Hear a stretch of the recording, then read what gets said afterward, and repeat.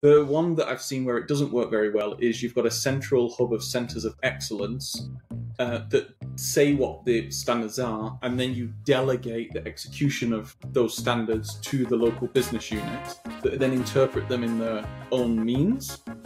That's really more for business strategy, I'd say, not for something, definitely not for finance. You don't let functions determine, you know, what is under GAAP accounting standards. We're like, no, uh, Central runs that. And you know, scheduling scheduling is one of these things where it depends really what you're doing, where you can draw that line.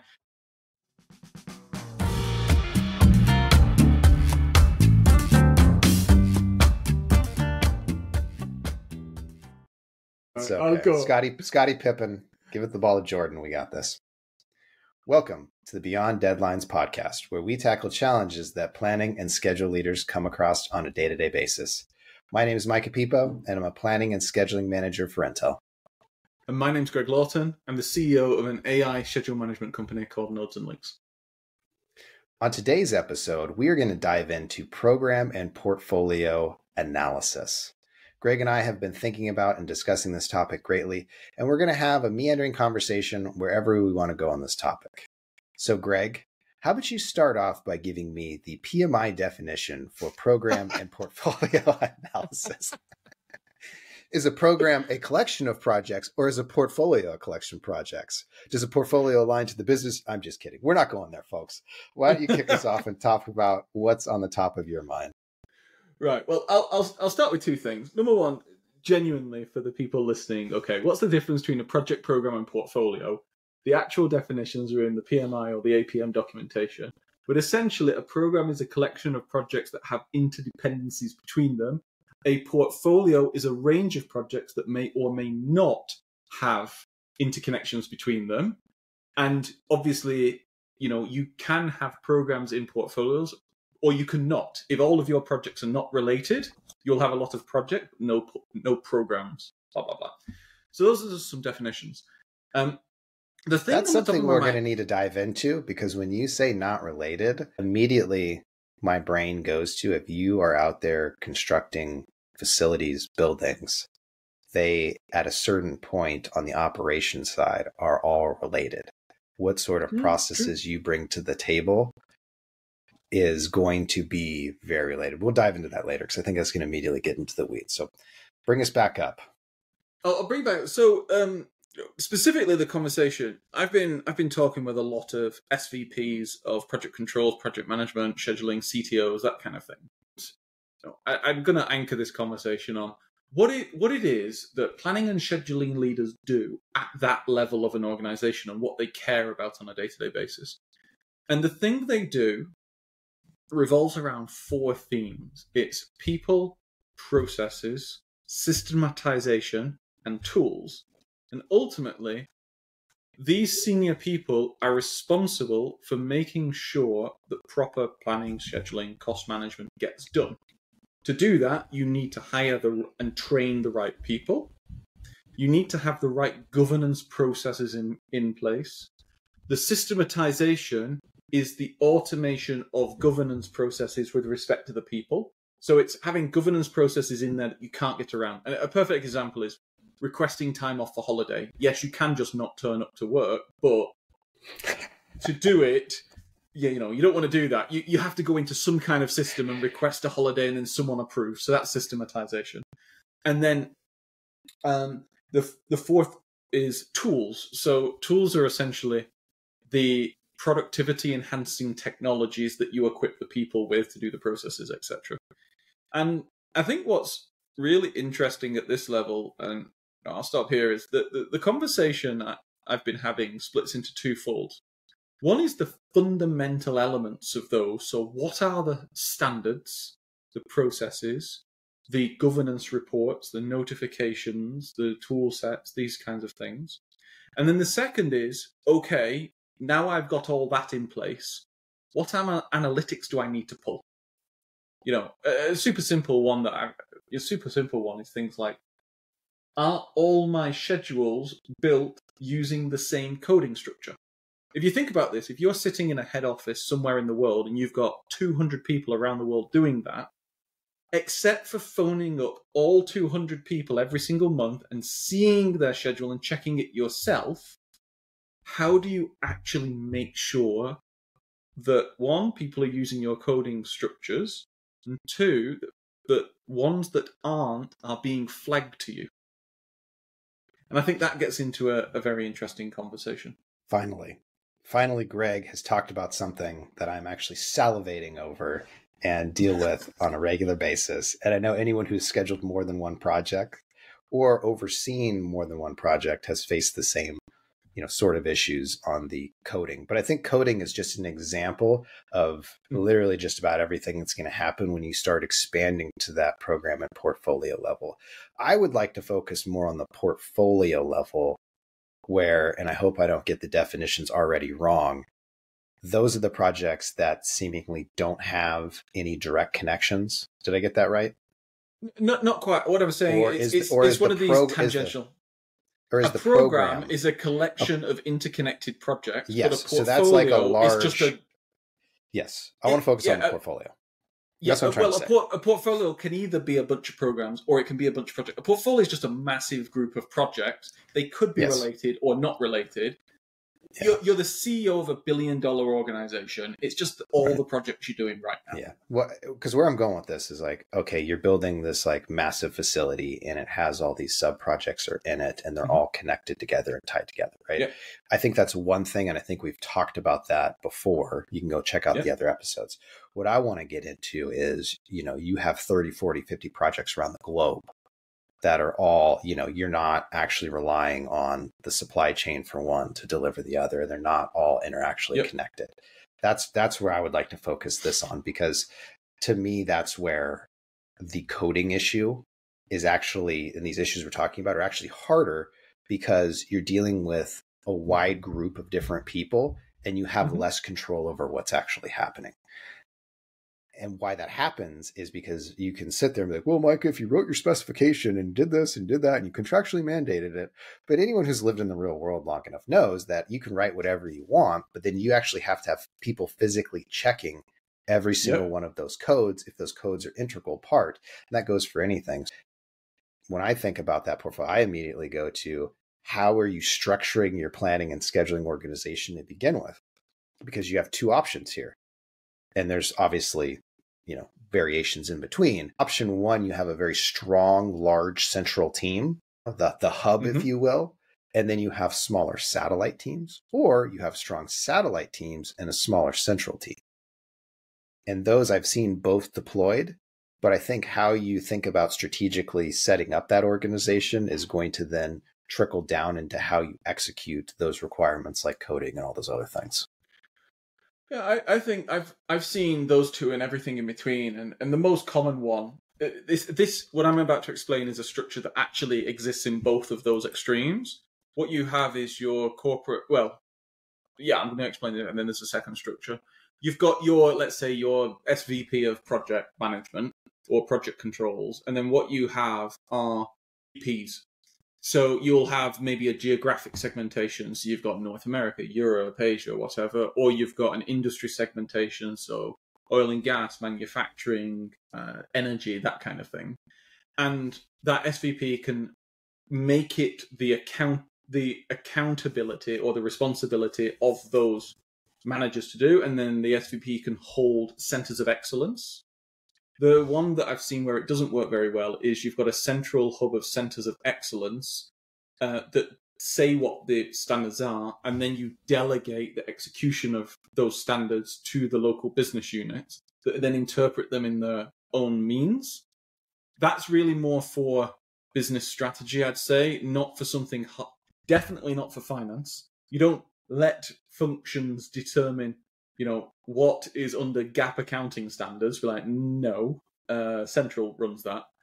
And, you know, scheduling scheduling is one of these things where it depends really what you're doing, where you can draw that line.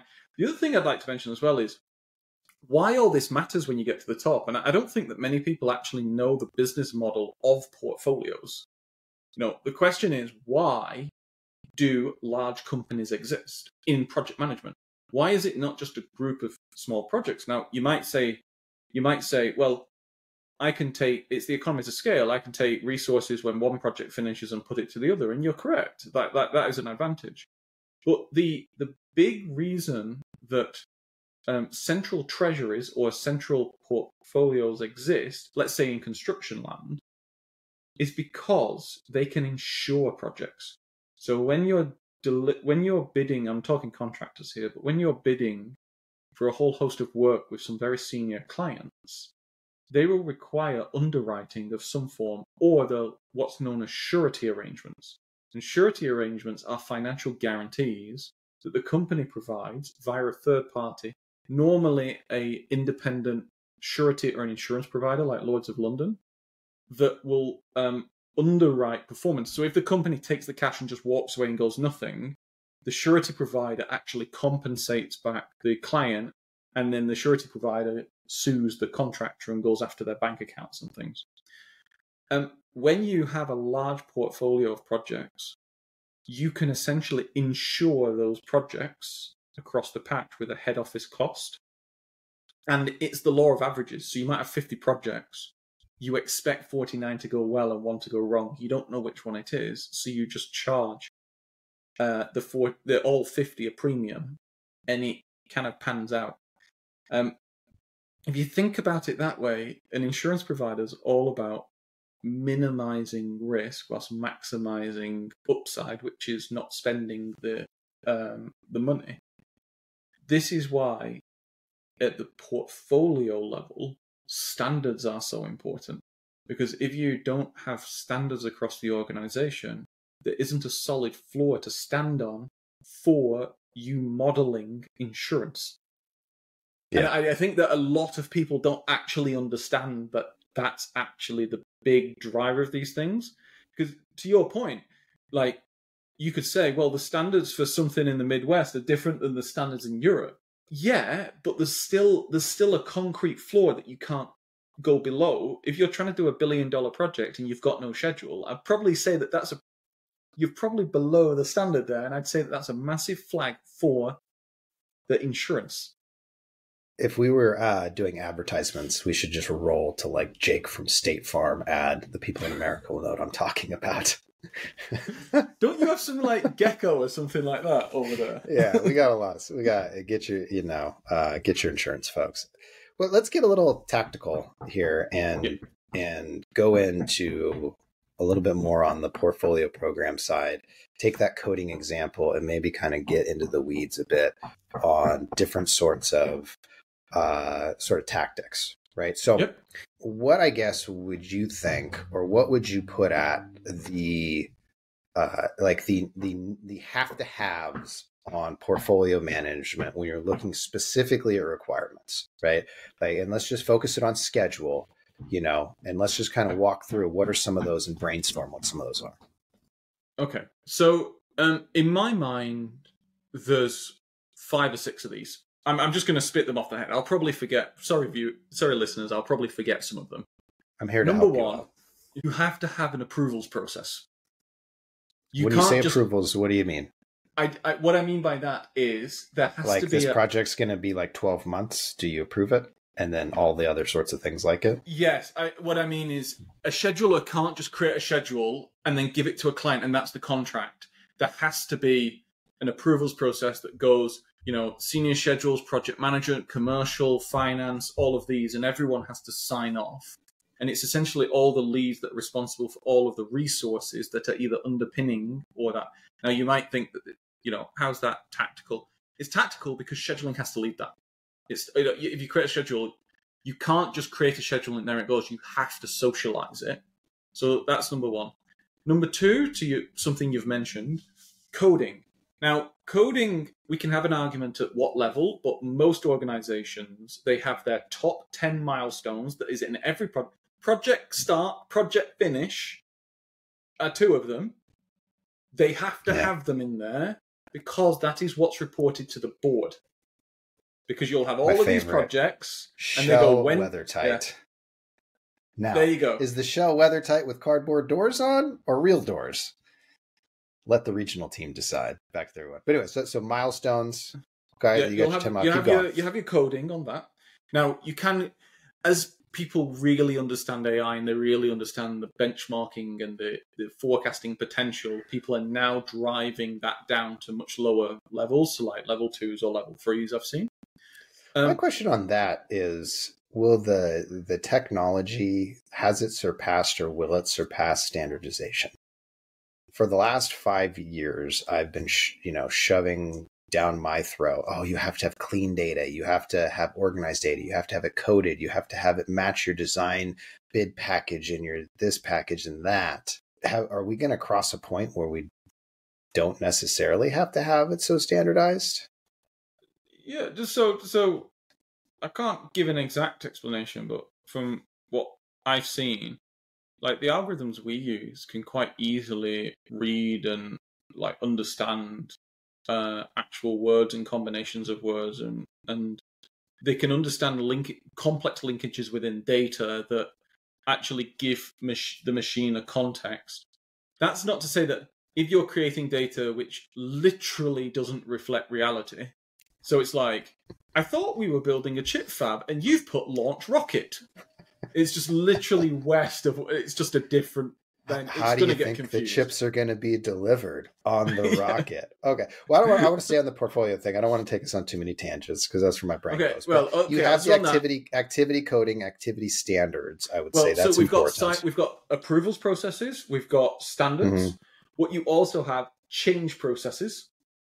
Mm-hmm. Change management is definitely a, a, corporate initiative. The same as um, uh, delay analysis and when i'm talking here when you're getting into forensics and it could be legal of some kind they'll have guidance documents yeah. on those um, you'll also have reporting standards and these you'll have internal you'll have probably varying reported standards for clients but you'll have consistent internal reporting standards you know the board will need the least amount of information and the business unit will be in need of bit more and then the product but it'll be somewhat consistent in um, a pyramid you'll also have generally lessons learned processes at the end of a project and close down processes and, yeah, that that's that spreadsheet that just has like the thousand yeah. random things that what project picks up and is like, yeah, hey, by the way, did you did you well. read the lessons learned document? Yeah, I'm not saying they've been done well, but if you think like if I just top low, like when you create the program, you create a schedule, it has to have some code, you have to get it signed up. Cool. You have to report on it and you have to do your monthly cycle. Okay, that'll have it. When things change, you need to understand that. When things are delayed, you need to understand that. And then at the end, you need to close down in a specific way. And companies have their own lessons learned one. That's the least developed, generally, in my sense. That, in my experience, is kind of the box of this portfolio. But then at the portfolio level, you will have management intervention. So at any point, you'll have like, how many projects are we doing? How many of them are in the red? How many of them are in amber? How many are in green? Therefore, what's our risk profile and what's our exposure? This kind of stuff. So one element is the processes, the other is the analytics. The analytics to me is is a very interesting conversation because I think there's a framework that I'm thinking about on portfolios that that mentally I've been shifting to over the last couple of years that I don't see necessarily in the industry in the writing in quite a few things where I am now looking at the portfolio strictly in terms of how can I make this easier for the next person to come? And when you mm-hmm. look at maybe like that lessons learned document, what would be actually something that's easy for someone to pick up and do? Lessons learned are a piece of knowledge that are tied to a specific context. So, uh, hey, by the way, we screwed up ordering steel because we didn't know that the steel roll dates happened on a certain cadence, right? And so we waited too long and we missed that cadence. So that's the context of it. But that's only relevant at a certain point in time you know? And so if i was going to make it easier for the next person to come along i would want to serve that information up to them when it's most necessary and most relevant. So beautiful question. Beautiful for question. example you know like it, it would it would be you know as we're going through the we're laying out the procurement things this is when it's actually being served to me. And it's not and then and then it kind of gets into varying degrees of like how much help you're giving help could be is it a reminder? Is it a you should, you know, definitely do this or you have to do this type of deal? And that's so, where to me portfolio analysis like mm. take that framework for the full thing and I just don't I just don't see it. You know, and I don't see people attacking it from that angle either. Well, well let's let's actually start. So the, that's what I'd call a level 3 position like in maturity. A level 1 maturity position is I actually can just enforce standards. Level zero is I have standards, but who knows who's following them um, and processes. Level one is I can actually check, like I can actually see who's following them. Level two is I can kind of pull all of that together and understand where the portfolio is at. You know, uh, 50% of my projects late. Okay, well, I, I know that kind of stuff. And then a level three is I can start to take one project and make the next project better for me at a portfolio level. Now, what you've there's a lot of ways of doing that, but uh, what I've seen is um, new roles being well, it's not really new. It's it's been developed over twenty years. It's um, uh, uh, learning learning management. I, f- I forget their exact name, but make sure, like, Greg, that you you share all the learnings, all those learnings. Yeah. Well, it's, it's people who. So let me put it in. Let me actually put it in context. Let me yeah. just outright say what I can see is doable right today. So the problem of sharing lessons learned is twofold, uh, threefold. One, capturing them in the first place. Number two is um, understanding their context so you know when to serve it up. And number yeah. three is being in the location when the person needs that knowledge. Now, this is yep. for what I'd call contextual knowledge. For systemic knowledge, that has to get its way into a process of some kind. So, uh, if the knowledge is so critical that it applies to every single project, the way you execute that is you amend processes to include it. This is normally yeah, you, where you, big you sign-ups put up bumpers. In. You put yeah. up bumpers so people can't go; they just physically cannot go outside the bumper. Uh, uh, yeah, and I'll give you an you know. I'll give you an example. Let's say you've you're running a financial system and you only have one approval for a million of spend, and someone runs off with a million dollars. You'll go, maybe it's a bad idea to have one approval. Now we have two. You don't stop yeah. people spending a million dollars. You go, actually, there's a bumper in the way, and the chances of two a... people being fraudulent are less. Yeah, and this is what's wild, where this gets into be a bit of a paradox on portfolios where you start there you had system based and then what was the other one you called it? So one is one is contextual and the other is contextual systematic, Syst- systematic means it applies to everything.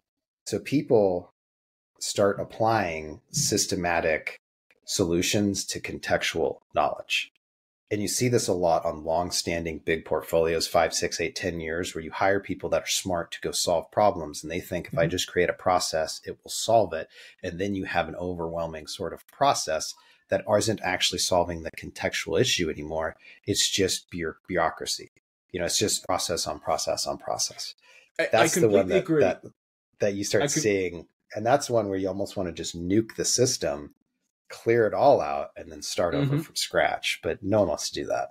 Well, here's the thing that we can do today. So, for example, what I would do is as projects are going through, not at the end, as projects are going through, maybe once every month, I would pull all of the people into a room for five minutes each and interview them. What is one thing that happened that you that was a problem that you didn't see? What's something that went really well? That kind of thing. You can have AI transcribe all of that. You can put it through generative models. You can you can say summarize to me all the lessons learnt this month. You can pull things that you think are systematic, which then go off for additional analysis because it's only systematic if every single project sees it. It's not systematic if only one or two see it, um, or they're exposed to it. And then you could, you and I know that you can easily create models where they can serve up contextual instance. And the process, by the way, can be as simple as once a month, you need to ask this AI, is there any lessons that it can share with you based on the scope you're doing that month? That can be the process. It's as simple as that. And you just type in, yeah. I'm doing um, you know, welding. Are there any lessons learned that I should know? Yes, here are seven lessons that you need to know. Don't don't cool. let Greg and Micah ever have a welding machine.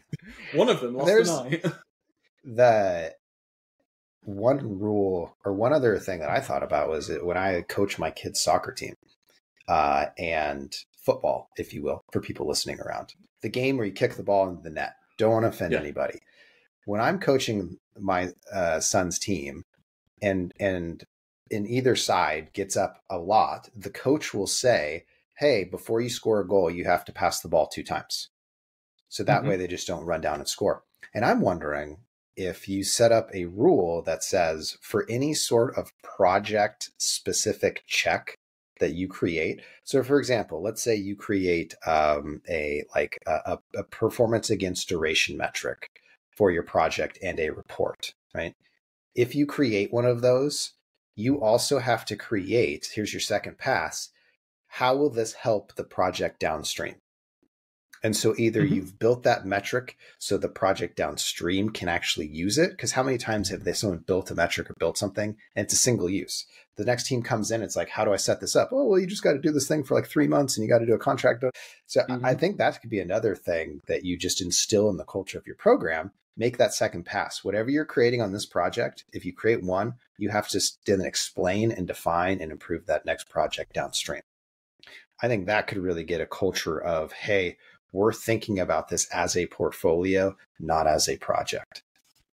You're right. What you'd have to be very careful of there is that um, the the process that you impose to do that is very simple and repetitive. So you know, if you're essentially what I'd call that is the process of creation. So if you create something, when you've created it, you have to do a one minute video explaining what it is, why it's valuable, and how you can use it later on. And it's just as something as simple as that, because to embed that kind of large scale behavioral change, you need simple instruction, like yeah. pass the ball twice. And you also need you also need some kind of police. Now, yeah. if well, the if the kids police, don't pass I would the ball say the twice, person, you go. Yeah, well, I'd say someone to catch the ball too. You know, like someone yeah. to like, and I think that you're you're calling it police, but I mean, really, what I just realized we're banging on the like Toyota invented this 40 years ago with the Kaizen method, right? That's all we're explaining yeah, right yeah. now. well, in new uh, terms, in in yeah, yeah in in, in really high level in really high level terms. But what I, what I see is that you know coming coming full circle, I think this is a fascinating topic because organizations have never had the cloud or AI before. So organizations no. have only had military governance, which is top down, bureaucratic, enforced through sign off yeah. processes. And that They've scales never had linearly, emergent governance. Right? Yeah. You know, that's that's a linear scale. Like I, I, have five processes, I need five people. You know, the more process you add, mm-hmm. the more the more people you add.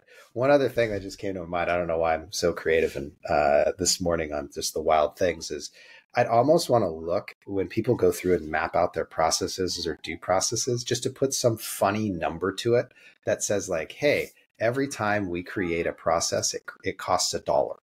You know, it's almost like, mm-hmm. it, and just to like set out how much it costs. So that way, when people go to create processes or systems, you have some sort of measuring of like, is this worth it? And my favorite one is stage gates. So if you go into any portfolio, oh, we got to have stage gates we have to have stage gates. You know, like if we don't have this information, we're not going to go approve for it. And it's one of those ones where I feel like if you added up the dollars it's costing and the mm-hmm. value, like you just wouldn't do stage gates. Like there wouldn't actually be that robust of an approval process to go through with it.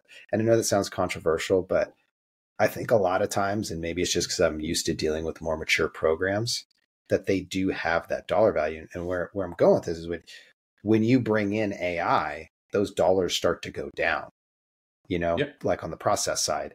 But if you're not really kind of tracking where you're at overall in the dollars, I just feel like you there's situations where you may just end up taking this great technology and then just adding more bureaucracy to it. you know, like well, I think I think this actually comes down to the flavor of management within each organization. And my my flavor, my personal flavor of management is that management is a productivity multiplier, whereas um, individual contribution is a productivity ad- ad- additional. So, for example, if I have a team of five people and I and they produce five units of work, I hire an individual contributor. I've got six units of work. If I hire a manager, they need to work on the uh, the objectives, the people, the processes, the systematization, and the tools, plus integration with other departments, to the tune of each person has to increase their productivity by twenty percent. Otherwise, I might as well just hire an individual contributor. Here's the wild And- thing replace the word people with process. And I feel the exact same thing that we're talking about on portfolio side. Yeah. Yes, and actually, this is the med. It's just that normally people at that level are very, very senior, so there's less Yeah. scrutiny to what they're doing. And uh, but I will actually give a counter to something you just said around, um, uh, around the stage gates. Um, a lot of the process in big organizations is incredibly inefficient 99% of the time and then it's incredibly efficient for 1%, but the 1% Yeah. it catches as a company ender. And Yeah. it's there to stop the nuclear button happening. So Oh, for sure. It's there to stop someone signing a contract where they get paid 100 million, but it's going to cost the business 2 billion. You know, in that situation, that might only happen once every 10 years. If you think, you know, you're going to lose basically 2 billion on that, I'd rather have 50 million of people wasting their time than that risk. So, Exactly. but That's to a your totally point, fair point. you're you're completely correct in that what AI and cloud essentially enable people to do now is they reduce the cost of governance by over a hundred times because it can be automated. And actually, in the venture world, this is called GaaS. So you know you've got SaaS, software as a service. GaaS is governance as a service. It's And this, I think, Yeah, is a it's going to be super huge interesting area. Yeah, yeah. Yeah. I th- I think it is. I I actually Yeah. think the future of project management is GaaS systems uh, that actually help people. So it's like, hey, there's an approval process coming up. I've already pre-written all the documents for it. Can you just check them for me? It's not asking you, do you want to do the process? It's done it, and it's asking if you want to check. Like Well, think about things. think about this hypothetical for a bit. You have a program that delivers multi-billion dollar projects. You have to think about how much review actually happens to like maintain a, a strong stage gate process. Now, I know the oil and gas folks out there, you know, they have a robust process on their side and it's been mm-hmm. developed over hundreds of years. Totally get it, but you, even to maintain that, they have to be spending loads of money of people just reviewing other people's work. So mm. when you say the GaaS systems, to me, that is, I drop my schedule into a folder. It's, it's already doing the checks. The approvals are happening offline, not in meetings, wasting people's times. And then people are going through it and checking it. And that, you know, kind of older school stage gate process is going away. And then you're getting optimizations out of it by being able to track some of the data that comes out of those those GaaS processes. And that's Totally that to agree. me is where, you know, and, and I think for people who are listening on the call who may be like, man, Greg and Micah are in that rocket ship flying around Mars right now. I I got's pieces of paper and and Primavera P6. If you start looking at if you're part of a, a company, they are a portfolio of projects. Where can you find angles in to start helping out future projects? That is going to demonstrate immediate impact and be a boost to your career. And they're they're easy to find. And whether you want to do it with a high level technology solution or something that is a little bit more, uh, there's nothing wrong with not applying technology, just doing something standard. Mhm. Definitely attack those angles that you see because you're just going to learn so much and then you're going to have some leadership opportunities tied to them. So I'd highly recommend people go explore some of these topics we, we brought up across this podcast. I agree, and I- I'd, I'd bring it round and say the conversation we've had today is the conversation that the SVPs have. So when when you go into a room, fundamentally, you know, th- there's elements of forecasting and and uh, uh, integrated business planning that they do, but a lot of it is uh, standards, people, processes, governance, which is reporting on standards and people, analytics, and systematization because it's thinking, how do I take what a thing that works well and make it into many things that work very well? And you know, just considering that is already advancing your thinking um, of scheduling and tactics. Completely agree. Well, I think we both slammed out those final thoughts pretty well. Shall we just awkwardly hit the leave button and just disappear into the smoke like Batman? yeah, let's go for it. Let's go. Well, hey, barbecue. folks, if I uh, know if you like this portfolio discussion, we're happy to have more of them. If you're looking for other tips, tricks, and tactics, please just reach out to us. I mean, we're, we're here to help. We would love to shoot episodes or bring guests on to dive into the topics that you want to see. So if there's something that is just scratching at your brain that you'd love to hear about, feel free to reach out to us and we'll try and make that happen. So for us on Beyond Deadlines, hit the subscribe button. Please do us a favor. I think I looked at like 60% of people who come and watch these videos aren't subscribers. So will you help us out and hit the subscribe button? We can just do so much more as this channel grows. And we'd love to keep helping you out and supporting you on your planning and scheduling journeys. And with that, have a wonderful week and we'll see you on the next one.